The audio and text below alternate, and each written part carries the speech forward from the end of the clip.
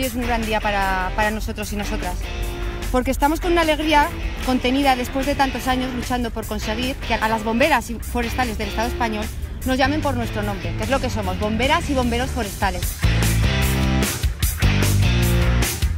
Un país decente tiene que proteger a los trabajadores y trabajadoras que se ocupan de protegernos y de proteger nuestros bosques y nuestro entorno natural.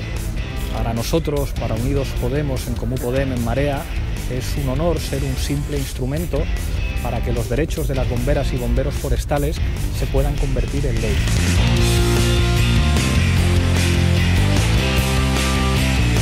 Esta proposición de ley contiene todos los ingredientes necesarios para lograr que la prevención y la extinción de incendios forestales en el Estado español sea eficaz y eficiente, con el fin de mantener vivos nuestros montes y bosques.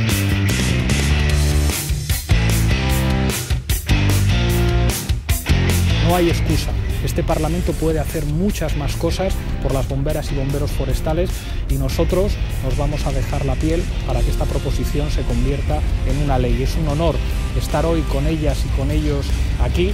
Su trabajo es un ejemplo, se la están jugando por todos nosotros y nosotras y toca dar la cara por ellas y por ellos.